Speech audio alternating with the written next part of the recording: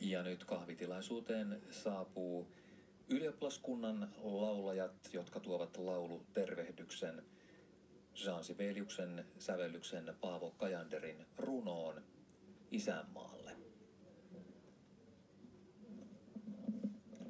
Ylioppilaskunnan juhlajat, laulajat juhlii 140-vuotisjuhlavuottaan. Kuoro perustettiin vuonna 1883. Ja kuoro tunnetaan erityisesti juuri Jean Sibeliuksen musiikin lähettiläänä, sillä Sibeliuksen tunnetuimmat mieskuoroteokset ovat YLn tilaamia. Tässä siis Isänmaalle. Yksi voima sydämeen kätketty on, se voima on puhtas ja pyhä. Se tuttu on vai tuntematon, niin valta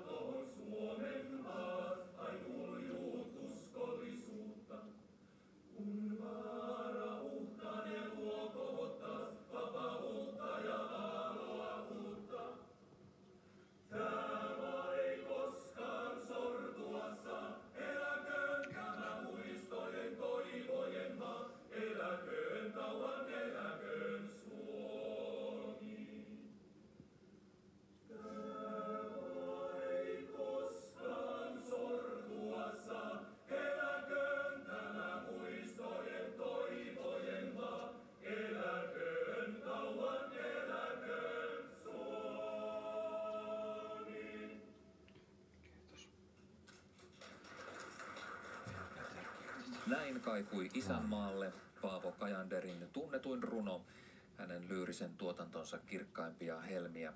Ja Sibeliuksen sävellyksen myötä siitä on kasvanut suomalaiskansallisuuden